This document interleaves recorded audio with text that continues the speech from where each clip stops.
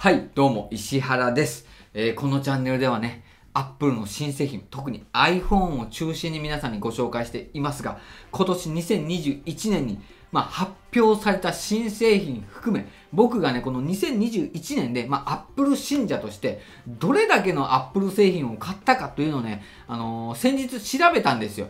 どんだけそのね、アップルに貢ぎ物じゃないけどね、お金を貢いだかというところでね、調べたんですよ。で、その結果を皆さんにね、ご紹介しながら、その買ったデバイス、買ったものについて、こういう使い方をしていますよ、というものをね、皆さんにレビューも含めて、ちょっとご紹介していきたいと思いますので、アップル製品とか、今年発売されたアップルの新製品についての、まあ、使い方、レビュー、プラス、あ、そんな製品ってそういう風に使われるんだ、あ、石原さんってそんな製品を買ったんだというところでの情報の参考になると思いますので、ぜひね、動画の方最後までご視聴ください。つまり、Apple 信者であるテック系 YouTuber 石原が2021年に使った Apple 新製品の、まあ、買った総額も最後にね、ご紹介したいと思います。はい、では早速行ってみたいと思うんですけど、僕がね、もう2021年に買った Apple 新製品調べたら16選ありました。まあ、 Apple の新製品なんですけど、 Apple で新しく発売されたアクセサリー関連もね、ちょっと含めて、 Apple Store で購入したものをまとめてみました。僕もね、本当にね、驚きました。今年は本当に最高額使っていました。うん、やっぱりね、6月からフリーランスになって、僕ね、あの、 Voicy というラジオで放送してるんですけど、結構ね、ここ、ここ9月、10月ぐらいはね、あの、散財してますので、まあ僕のね、フリーランスとしての働き方とか、そんなものもね、発信してますので、ぜひね、 Voicy の方チェックしてください。で、できればね、フォローもよろしくお願いします。はい。ということでね、やっていきたいと思うんですけども、その16選を値段、も含めてね、あの、そのレビューも含めてご紹介していきたいと思います。まあ僕の使い方はこんな風に使っていますよみたいなことでね、皆さんにご紹介しますので、まあ、参考になると思います。はい、まず一つ目が AirTag でございます。AirTag 購入しました。まあ初めてのね、Apple のデバイスの中で、まあ紛失防止タグみたいなもので初めてのデバイスだったので、まあ購入してみました。で、僕はね、車のキーをえー、そのエアタグつけて、あ、車のキーにエアタグをつけて使っていますが、今までにエアタグを使ったっていうか、まあ、つけてはいますけど、紛失して、さあ、エアタグどこかでこう iPhone で調べるっていうことはね、一切ございません。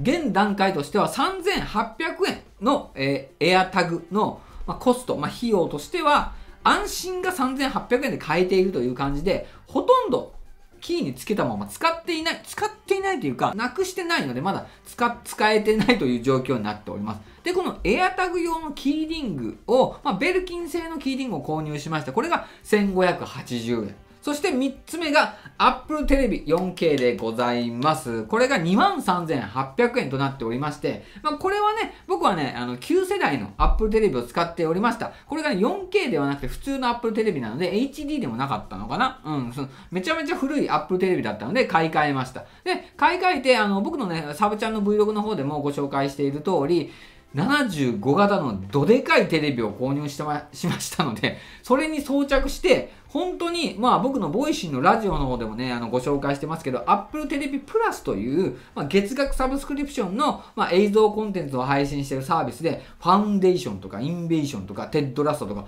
むちゃむちゃ快適に見ています。もうこのね、Apple TV 4K マジで買ってよかった。もう部屋がね、もう映画館みたいな感じで、新しい、iTunes でね、新しい映画もね、もちろんレンタルもできますし、新しい Apple が配信する映像コンテンツも見れますし、Apple TV 4K でもちろんネット Netflix とかディズニープラスなんかも見れますので、むちゃむちゃ重宝しております。そして4つ目が iPhone 12 mini のシリコンケース。今現在僕はね iPhone 13 Pro を使っていますので iPhone 12 mini はもう使っていないんですけど、ちょっとね、あの、うちの嫁の方にお譲りしました。譲渡しました。で、嫁が使っております。こちらのね、シリコンケースになっております。えっと、青のね、何、シエラブルーじゃなくて、シエラブルーじゃなくて、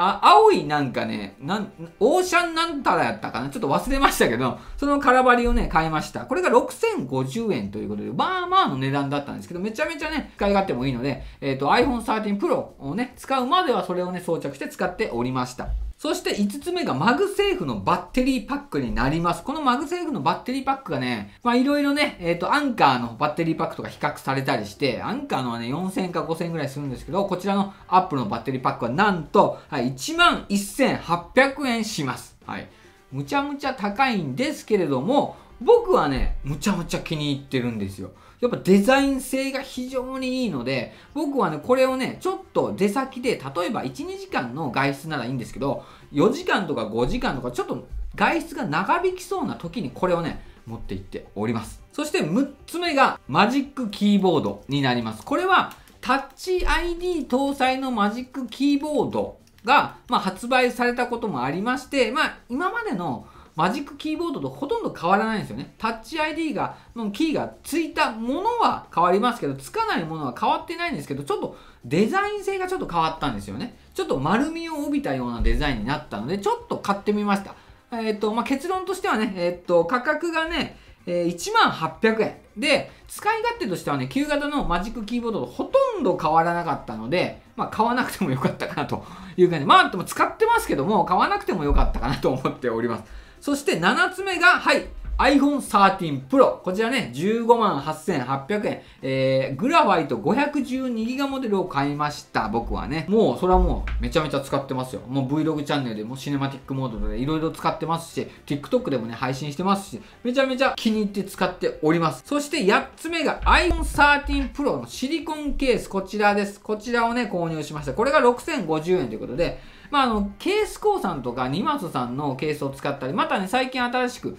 あの、デビルケースという、えっ、と、新しいね、ケースをちょっとね、提供していただいたので、その辺もね、今使い始めてるんですけども、まあ、どれがいいかなっていうのをね、まあ、人それぞれなんですよね。で、僕はね、Apple Store のこの純正シリコンケース使ってましたけど、今はね、ちょっとまだ他の使ってるんですけども、まあ、これはね、あの水場とか、えっ、と、まあ、ちょっとアクティブに使う時にはめちゃめちゃいいので、これはもう売らずにね、また後で使おうと思ってるんですけども、そんな感じでね、いろいろね、ケースはいろんなジャンルあるんですけど、アップルに貢いだ、え、ケースとしてはこのね、えー、純正のシリコンケースがありました。で、9つ目が Apple シリーズ7でございます。これがね、66,300円。あの、セルラーモデルを買いました。で、このね、あの、使い勝手については、この音声ブログ、Vlog のね、ラジオのえっと、方でね、もう熱く語っております。本当にね、セルラーモデルをまず購入して、iPhone をこう持ち歩いたりせずに、Apple Music とか、Podcast とか、電話もできますから、非常にね、重宝しております。これもね、もう外出時にはもちろんつけるし、まあ、外ね、家の周りをこう、走ったり、まあ、アクティビティとか、そのワークアウトで使うときには、iPhone を使わずに、はい、こちらね、AirPods Pro 装着して、Apple Watch と AirPods Pro で外出したりすることもありますので、非常に使ってよかったで、ディスプレイの方もめちゃめちゃこう画面が大きくなってるから、見やすくなりましたので、視認性はね、バッチリかなと思っております。はい、そして iPad mini 第6世代でございます。はい。えー、これがね、77,800円、あの、256ギガモデルを僕は購入しましたので、77,800円か、うん、ぐらいです。ぐらいじゃない、800円でございます。で、これがね、やっぱりね、サイズ感が非常にいいです。家の中に持ち歩くのはね、もうこれになっちゃってます。iPhone は、あの、このね、デスクのベルキンのね、スタンドに置いて、これを持ち歩いてます。こうやってね、もう片手でね、こう、歯磨きながら、Apple TV とか見れますし、まデスクに置いたりこうできますしね、こうね、もちろんできます。そして、もちろん Apple Pencil 使えますので、Apple Pencil でね、メモ取り非常にここのね、クイックメモも非常に便利で使いやすいので、これほんとマストになってますね。うん。だから、こちらのね、iPad Pro 11インチ去年ね、2020年モデル買いましたけど、もう、え？ちょっと待って。もうね、電源すら、あ、もう電源すらつかない。もう、これ買ってから、もう完全に使ってません。いや、てか、でかい。むちゃくちゃでかい。でっかいな、結構。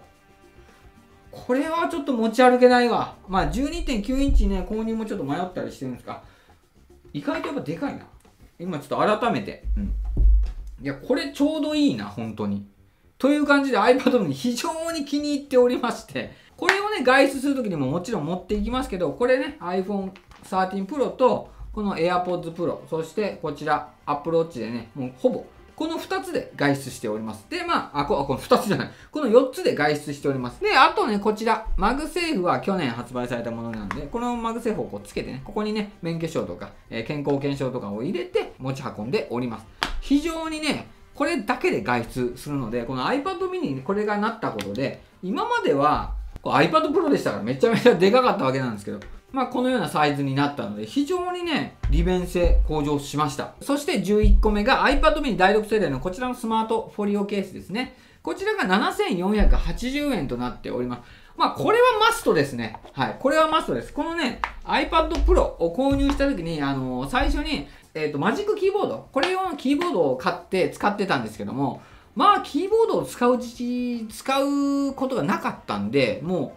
う、そう、スマートフォリオにしたんですよ。そしたらね、結構使う頻度が高まってきました。こんな感じでね。もちろんね、Apple Pencil 使えますので、こんな感じで持ち運んでましたので、これを小さくしたのがこちら iPad mini という感じになっておりますので、もちろんね、キーボードなんか使えませんので、ね、あの、ペンで、え書くか、映像コンテンツとか調べ物するかとか、まあ、本を読むかとか、そんな感じで使っております。はい。なので、まあ、キーボードは、まあ、iPad mini ではいらないかなと思いますので、スマートフォリオ、これはね、もうマストかなと思います。はい、そして12個目が iPad39,800 円。そして13個目が、こちらも iPad39,800 円。これはね、レビュー用と、あとね、子供が、まあ、レビュー用とか仕事で使った後は、まあ、子供にね、えー、プレゼントして、あと、絵を描いたりとか、あと、YouTube で勉強したりとか、いろいろ使っているみたいなんでね、これはもう本当に、もうマスト、もう子供にはね、最近はね、もう iPad を持っていただいて、まあ、いろいろね、その、まあ、今後の将来的なものも含めて、今のうちに、ね、iPad を慣れておくということで、僕はね、推進しております。はい、そして14個目が M1Max MacBook Pro 14インチ。